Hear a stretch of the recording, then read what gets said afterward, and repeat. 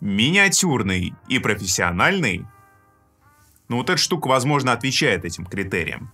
Миниатюрный, профессиональный и при этом бюджетный. Интересно, вот эта вещь, она достойна называться вот этими самыми словами? Мы сегодня с вами это и узнаем на канале «Давай запишем», где, напомним, мы говорим о про аудио ESI UGM 192. Внешняя звуковая карта.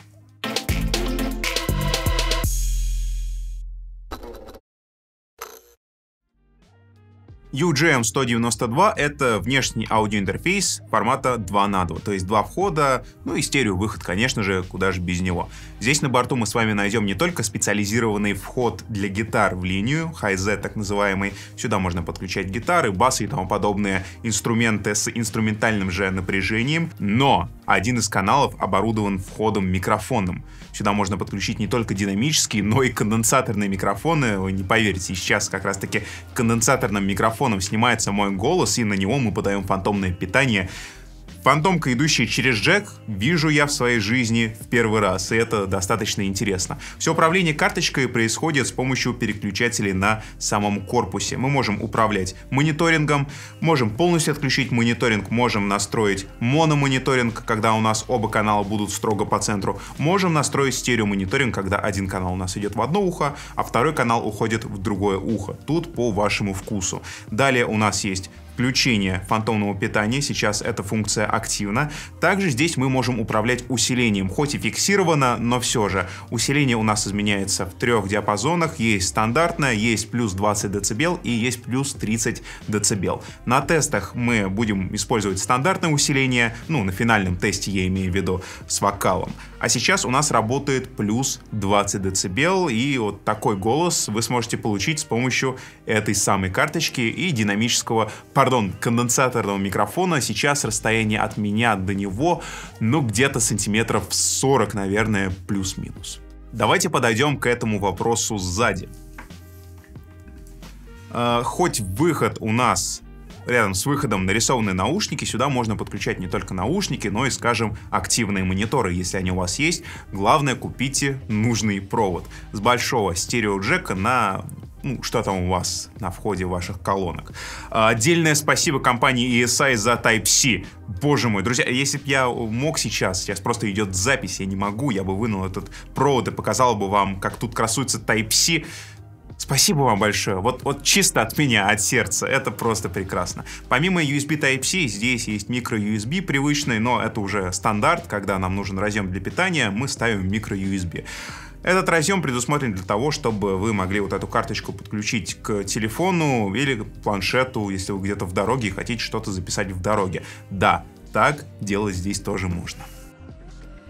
Главная фишка вот этой внешней звуковой карты вынесена прямо в название. Это преобразователь 192 кГц на 24 бита, который был установлен вот в такой маленький корпус. Помимо этого, по параметрам нам, естественно, интересна задержка этой карты. Сейчас, к слову, задержку вы видите прямо на своих экранах. Мы ее измерили немного новым способом с помощью программы, которая измеряет ISO задержку. Напишите нам, кстати, в комментарии, нравится ли вам именно такой способ, или все-таки нам стоит измерять задержку, э, как раньше, по-прежнему через Cubase в настройках, переключая буфер и тому подобное.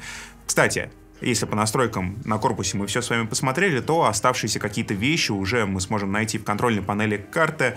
Там мы сможем поменять частоту, дискретизацию и воспользоваться программой, фирменной программой от ESI под названием DirectWire.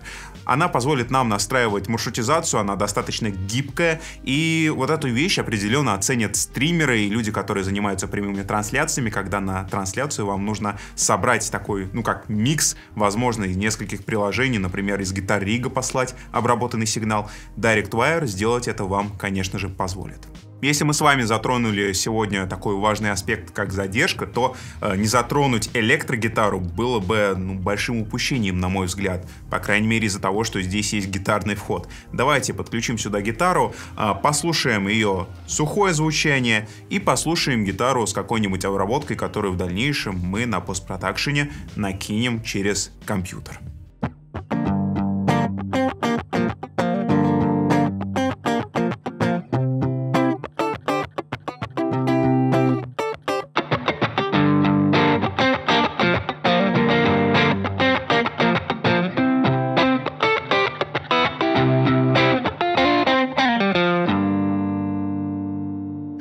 Быть между одним тестом и другим тестом. Друзья, конечно же, еще один тест, на этот раз с динамическим микрофоном. Ведь не секрет, что различные преампы по-различному работают с динамическими микрофонами. К слову, этот звучит следующим образом, с усилением в 20 дБ. Давайте навалим. Добавим побольше. Ох, ох, 30, 30 дБ сейчас работает с нашим микрофоном. Я вижу, как волновая форма задралась. Не так, чтобы сильно, но все равно этого, этого достаточно. Кстати, что интересно, э, конденсаторные микрофоны вот с этой штукой выдают э, волновую форму побольше. Все-таки усиления здесь не совсем хватает для динамических микрофонов, хотя если это какой-то громкий вокал, то возможно, возможно, хватит. Давайте скинем, скинем на ноль э, предусилитель, послушаем, как все это дело работает с нулем. Вот так вот ноль, меня еле-еле слышно, поэтому я возвращусь на 20 сразу же, чтобы меня стало слышно хоть как-то, и скажу, что сейчас у нас будет финальный тест. Подключим сюда сразу двух исполнителей и послушаем, как эта карточка их вдвоем запишет. Вниз по небесной лестнице, обернувшись облаком, опускался Бог. Ты посадила деревце, я его от холода еле уберег. Я за нелюбовь тебя простил давно. Ты же за любовь меня прости. Я не могу без тебя, я не могу без тебя. Видишь, куда не беги, все повторится опять. Я не могу без тебя,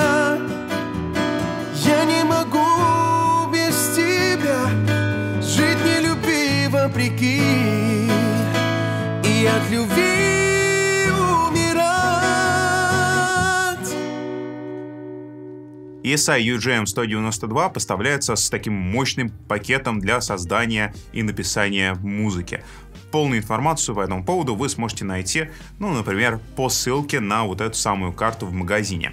Э, что хочется сказать вообще в конце от себя? Если вам вы часто путешествуете, вы часто в дороге, вы мобильный человек. Вы возите с собой либо телефон, либо планшет, и вам иногда нужно делать какие-то наброски музыкальные в дороге, э, вокальные, гитарные, неважно. Даже если вы не играете, если вам хочется просто послушать музыку с хорошим качеством, находясь далеко от вашего компьютера, то вот такой малыш, возможно, станет неплохим выбором. В любом случае, мне очень интересно узнать, что именно вы думаете по поводу вот этого внешнего аудиоинтерфейса. Забегайте в комментарии, напишите. Не забудьте поставить лайк, если ролик пришелся по душе, и подписаться на канал, ведь это «Давай запишем», где мы с вами говорим о про аудио. Друзья, я не прощаюсь, я говорю до свидания. До встречи в следующем ролике. До встречи в следующем ролике.